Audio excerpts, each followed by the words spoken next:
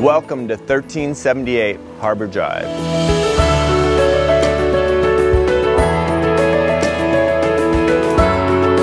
This home is located in Harbor Acres, one of Sarasota's most prestigious neighborhoods.